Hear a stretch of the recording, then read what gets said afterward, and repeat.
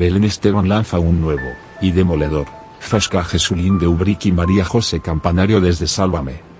Belén Esteban ha reaparecido en Sálvame tras su dura reacción a la operación estética de Julia Jareiro.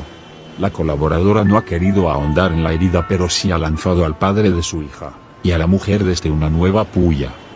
Belén Esteban y María José Campanario. Garófano. Gema Mil.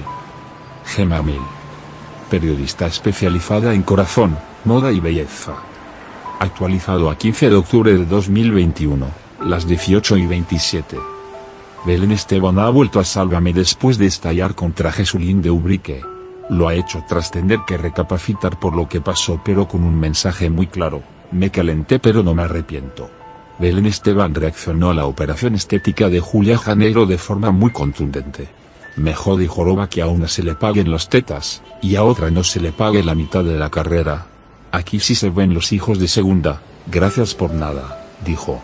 Tres días después se mantiene en sus trece, y ha lanzado un nuevo fasca tanto al padre de su hija como a su mujer, María José Campanario. Artículo relacionado. Carmen Janeiro pone en su sitio a Jesulín de Ubrique por su hija en común con Belén Esteban. Carmen Janeiro pone en su sitio a Jesulín de Ubrique por su hija en común con Belén Esteban. Qué suerte tienes de que tu hija no me deje hablar, si me dejara hablar se te caía la cara de vergüenza, advertía a Jesulín. Este viernes ha vuelto al ataque en Sálvame, cuando yo estaba mal estaba mal pero lo que nunca hice fue dejar mi familia a un lado, siempre estuve con ella. Lo suelto ahí.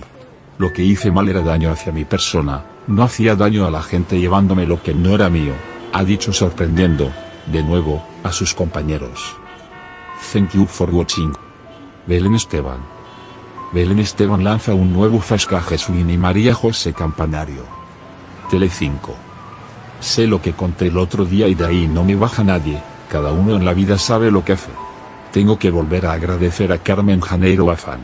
Gracias, ha añadido sin querer hablar más del tema. Además, la colaboradora ha aprovechado para dar las gracias a la gente que le ha apoyado. Le doy las gracias a Ana Rosa Quintana por sus palabras y a mucha gente. Ana Rosa ha dicho en su programa, si tú le das una cosa a un hijo se lo das a otro, no se puede tener hijos de primera e hijos de segunda. Belén Esteban. Belén Esteban no se arrepiente de sus duras palabras contra el padre de su hija. Telecinco. Me tendría que haber callado, ha reconocido.